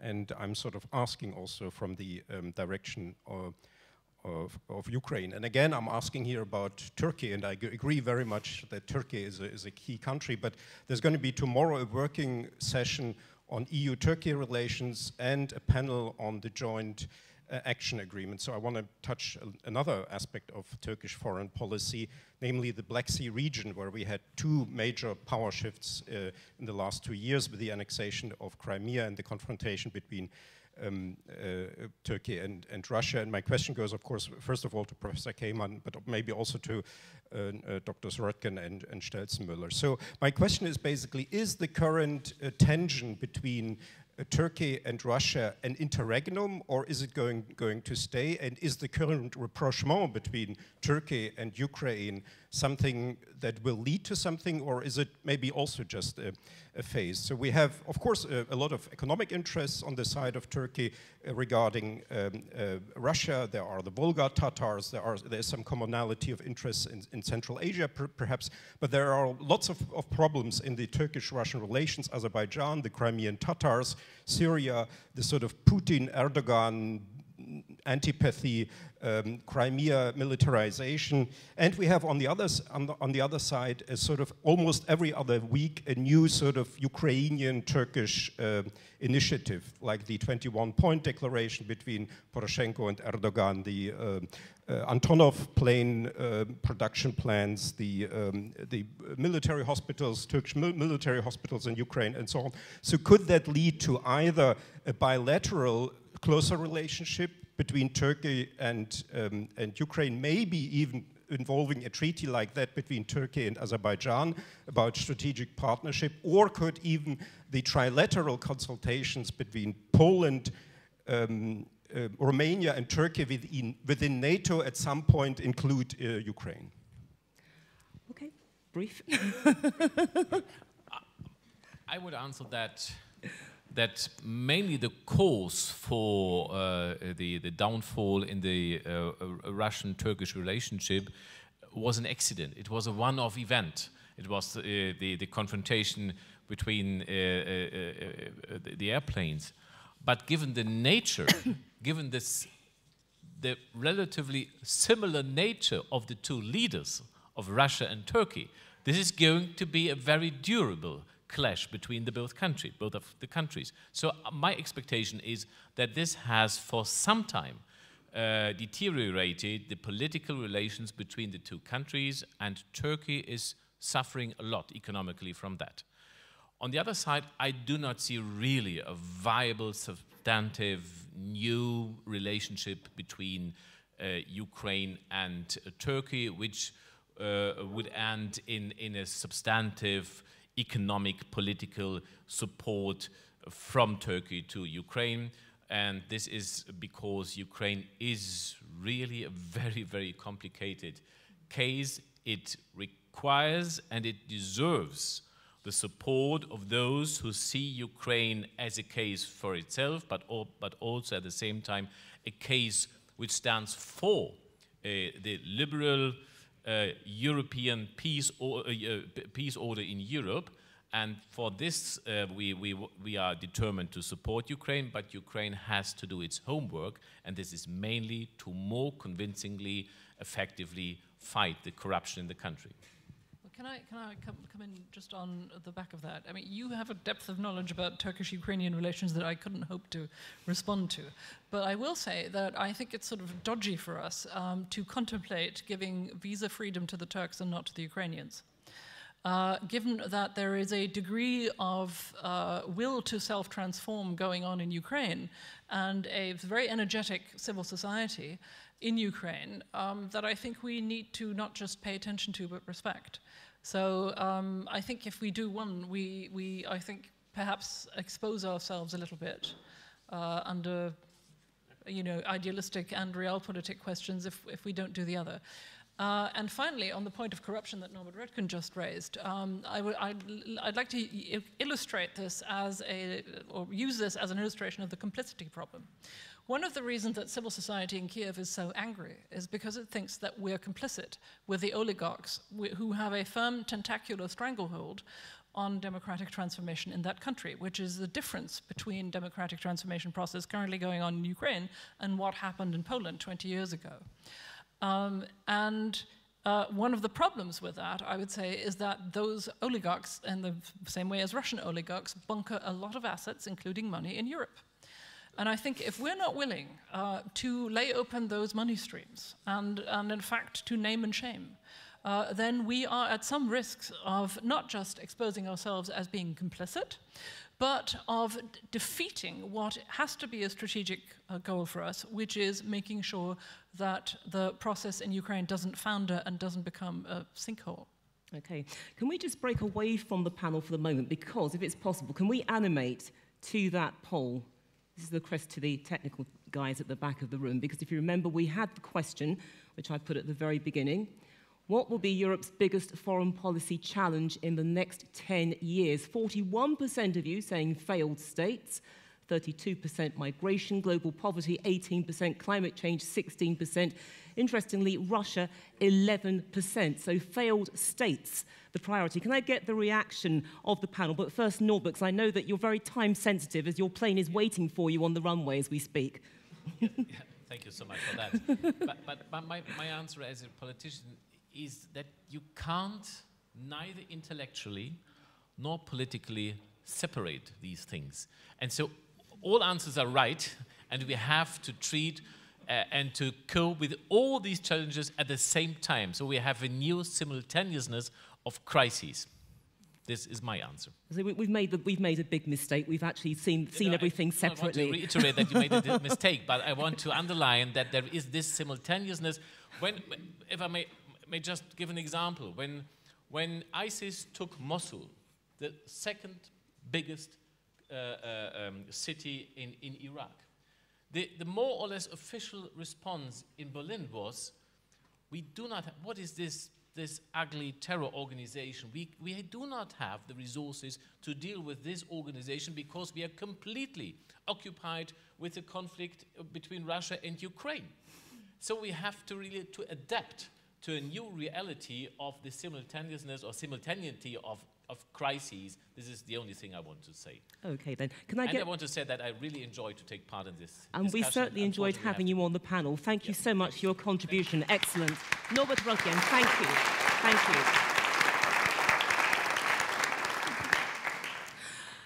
Can I get your reaction to that poll, Constanze? 41% saying that the priority should be failed states. Well, um, I feel the same way as Norbert Röttgen that that um, it's difficult to keep these things apart. I mean, I mean, we know that people migrate because they're poor as well, and not just because of political persecution, and because climate change creates, you know, devastates their their their their their, their societies, their agriculture, and so on. I also would like to raise a larger and perhaps slightly more um, controversial point, which is um, that you know, Russia is a fairly well organized and strong state, but it is exhibiting some symptoms which you could see as harbingers of failure. Uh, for the simple reason that its economy is based on one thing alone. And in fact, the Russian leadership has failed to diversify, although they know, I mean, they were planning to, and they and, and So oil and gas. and yeah, exactly. And uh, oil and gas income these days isn't what it used to be. Um, and you see already sort of symptoms of not political fragmentation, but of a sort of loss of, of grip, I think, by the, by the leadership that goes a fairly long way to explaining some of the external ex- aggression we've seen in the last 18 months.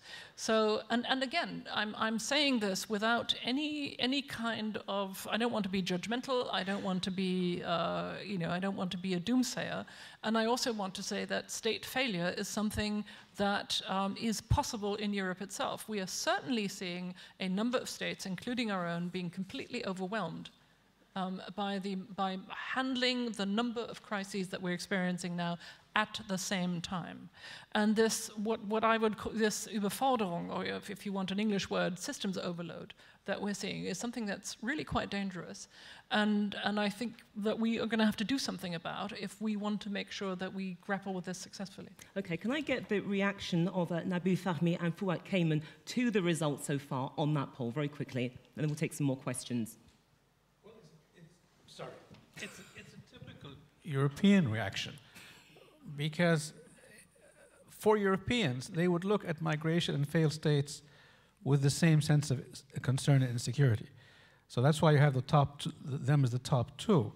Uh, if you asked other regions, they will probably deal with other issues, not uh, failed states, but migration. So I'm not surprised by, by this result today. Th- three years ago, you may not have gotten uh, that result. Again, one of the strengths of Europe is also one of its weaknesses. Its strength in, in trying, in, in, that it has well established democratic systems. Democratic systems are difficult to manage, and they are driven by politics that tend to be short term because politicians are held accountable by elections in a relatively short period of time. You are therefore then always asked do I make a choice between principle and what, how do I solve the immediate problem today? There's no clear answer. I would never argue that you need to ignore principle because then you're changing who you are. But I, it's naive to assume that you will stand on principle on every issue all the time. That's not going to happen. Therefore, you need to have strategic policies, not tactical ones. Okay, can I get your thoughts on this, Fuat and to that result, and then afterwards we'll take some questions from Slido. I should be more European than uh, Turkish because uh, that would be my ranking too. Uh, failed states, uh, migration or refugee, global poverty, climate change. Uh, rather than Russia, I would put uh, their violence, terrorism, and war because I think we have a very serious question about violence against women, violence against, you know, in all these forms and different uh, asymmetric wars, proxy wars, and everything. So, so in this sense, uh, I think uh, one of the, there are very serious research uh, going on on the issue of violence because some suggest that uh, the violence turns out to be the, the pillar of, of, of security concerns in, in these years and the years, years to come. But I- I would agree with these. Okay, then let's move it back to the questions if we can. Just disappeared. they were there a second ago. Okay. The world has become, oops. I think they said the world has become more interconnected. And there was something else which followed that. But look, whilst we're waiting, there it is. The world has become more interconnected and complex. What difference does that make in a world that is ruled by political short term considerations anyway? which you've actually touched on to a certain extent. But would anyone else like to add to that before we move on to another question here, which I've spotted? Or should I move on to another question? What would you like to say? All right. I mean, since we're being asked the questions, we might as well get, you know, give it a shot. Uh, so on this one, I would say the answer to that is not to, to, to confine ourselves to or to uh, lower our level of ambition. In other words, to say that we will be short termist, we will be tactical, and we will manage and be reactive because that's as good as it's going to get. Uh, I think we've done, we've seen a lot of that we, because we've been doing that, and we can see that that's disastrous because it locks us into path dependencies that then lead to negative outcomes that are not in our strategic interests. Um, what I do see, and I presume that those of you who talk to policymakers relatively regularly will, will know that they complain about being pulled into a, a, sort of a, a, world where everything they do is 24/7 crisis management, and this is true even for the people who, in foreign ministries and chancelleries, are supposed to be doing strategy and are uh, or, or forecasting and are supposed to be doing the big thinking, you know, beyond the horizon sort of stuff. So what I suggest is that you, I think you, we have to resist this, both uh, in the sort of analytical academia slash think tank world, but also in the world of policymakers. There has to be a space, and there have to be people who are not just allowed to do the, the, the connecting the dots, but who are allowed to resist if people try to pull them into the other stuff. I think that that's a really crucial point because without thinking big, you're never going to you're never going to es escape these these constraints. Okay, if you're right, Keyman. You know, uh, maybe we should actually put to this uh, question of long-term, uh, you know, visions versus short-sighted uh, leadership or, or approach uh, in a different form uh, in terms of our. during the 1990s, 2000s, our belief that globalization interconnectedness, interdependencies coming with globalization will solve certain problems. And then right now, there's a growing, uh, you know, uh, skepticism about, about the way that globalization uh, operating. And, and I think the American elections is quite illustrative in that context because both Donald Trump and Bernie Sanders, you know, gain amazingly fast popularity because of their actually harsh criticism of globalization, especially in terms of trade. And they take a very nationalist position that they say that if we actually had this actually from a political economy uh, point of view, we will be talking about how to slow down globalization, how to control globalization. We used to believe that globalization involves you know, both potentials and, and, and risks, and certain countries that are articulating potentials will be successful. But right now, we are not talking about the potentials of globalization. We are talking about extremely significant risks coming from globalization.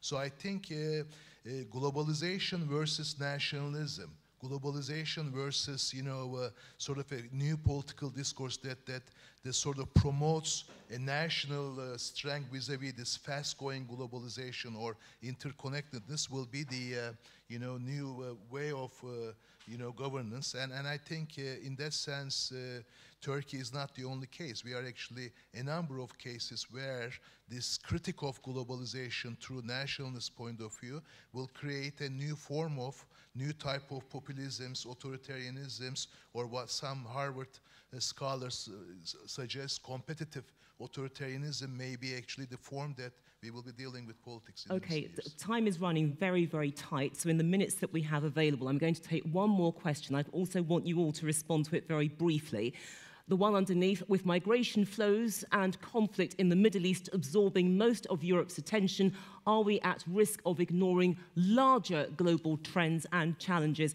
Very briefly, Constanze. I think that's uh, definitely a risk, um, but it's one that we. I, I, I, think the, the lesson of the current time is that we don't get to pick and choose. Yeah? We may have to prioritize, but we, we are not allowed to let uh, issues drop off the back burner. In other words, we, I think for the, in the short to medium term, are going to have to look towards stability and peace and prosperity and transformation at home, meaning in Europe, and our own countries and in the region, and that will be more than enough, more than enough for us at this point. But at the same time, uh, we would be, it would be very unwise if we lost sight of what's happening uh, in China and in China's neighborhood. Um, the Brits and the French certainly have very well figured out strategic interest there. And so I would suggest do the Germans, uh, given the amount of trade that we have with China. Our, our, bet on Chinese stability and the Chinese role in the world is very, very large indeed and we stand to lose a great deal if that bet go, so goes south. So I think um, we need to develop a larger sense of the world. The other thing that I'd like to mention, very very briefly, yes, so that other just speakers one, one can final point. We also, of course, have a strategic interest in global order and in what I would call, as a trained international lawyer, uh, common domains of mankind. Yeah? We have to, these are becoming increasingly contested in cyberspace, on the high seas, the deep seas, uh, in space, and elsewhere. And these areas need to be re regulated in such a way that we can all have access to them. Germany has a very long tradition of contributing to international law and international legal thinking, originally and creatively, and I think that that's something we shouldn't leave out. Okay, Fuat Keyman very briefly. Uh, if uh, the last day's discussion will be titled Europe 2020, I would say actually the refugee crisis and the uh, failed state slash ISIL crisis will consume all our, our energies. And I think uh, uh, we have uh, some success in defeating ISIL. The impact of ISIL will be, con be continuing until 2020. But I totally agree uh, with Constanze that, that, that uh, even if we are actually focusing exclusively on refugee crisis and the ISIL crisis, we have to have some sort of vision towards, you know, much better global order. Okay, and Nabil Fahmy, very briefly. In, address, in addressing the last two questions, I'm going to suggest something that I don't expect to happen, but I think it's important that it happens. Present day leaders will be, will be unable to isolate themselves from short term political pressures. So I don't expect them to be comprehensive and strategic all the time. My suggestions, therefore, is have to have somebody else to do that. Now, who are the potential leaders who can possibly do that? But again, I draw a, point of caution. New Secretary General of the UN, the head of regional organizations, be they in Europe, in, in, for, in the Middle East, the Arab world, for example, these are positions that should be taken on by people who are ready to project their vision, what they believe is right and wrong, without being responsible to an immediate constituency. Now, I know that's not where we are, but frankly, it's actually in this era of complex challenges of globalization, of having to take decisions immediately. We're all pushed not to be strategic, not to look at the bigger picture, not to remind people.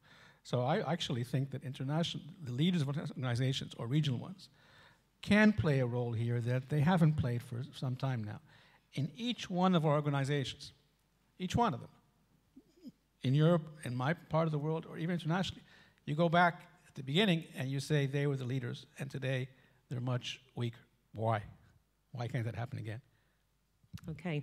So we are coming to the end of this session. I think you can all sense that. But before we part company, I'm going to invite the remaining members of the panel to give a very short concluding statement addressing that theme Europe and the world, global insecurity, and power shifts.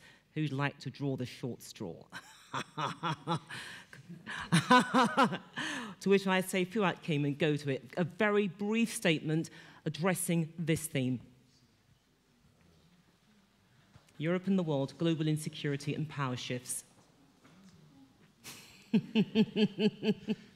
I mean, difficult, but uh, you know, uh, I always, when I talk about European integration, uh, I always go back to Jean Monnet and then Jean Monnet's, uh, you know, the last pages of, of, of, his work where he says the global, in the European project is not only very, very important project for, for Europe, but for, but for the world. And, and, and, and, and we need actually Europe to be engaging in a much better and effective way with, with this uh, regional and, and, and, and global challenges.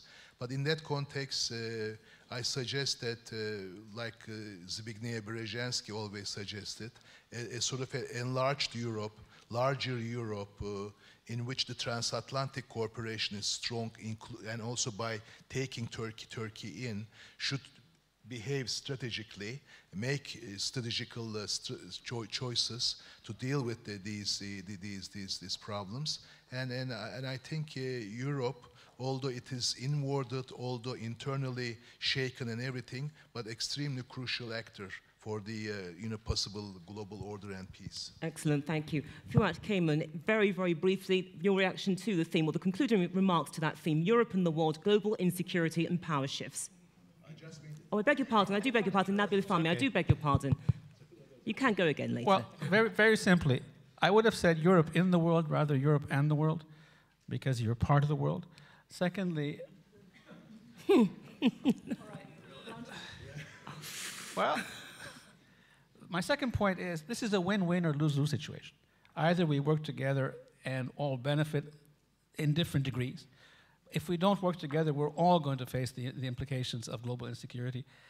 And, and our, our colleague also, before he left, was correct in saying even how we define power, and if you, if you look at how power is defined many, many years ago, it's a completely different concept. Now we're competing with power with individuals in the street and multinationals and globalization. So it's a lot of, it's much more complicated. We can't, we cannot deal with this as if it is, it's Europe and then the Middle East is separate and then Asia is separate and, and, and, and the North America is separate. So again, win-win or lose-lose. Make okay. your choice. And Constanze. And I'm assuming you're not going to get, let me have Norbert Röttgen's time as well. That's all right, don't worry. No, um, well, he, has gone, I'm afraid. He took his time with two him. Very, two very brief points. Uh, one on the insecurity. I think we have to accept that the Cold War, while I'm not inclined to romanticize it, it was no fun at the time, uh, was a historical anomaly for Europe. Um, the stability that we experienced at the time, and that particularly Germany experienced through NATO and EU enlargement, thereby surrounding itself with a very big, fat buffer of stability, prosperity, and peace. That period is over, and we are now, for the foreseeable future, going to have to live with insecurity. That means we are going to have to find out whether liberal and open democracies can live under, under these conditions and successfully defend their values. That means investing in resilience at all levels. I think that's going to be a fairly tough challenge.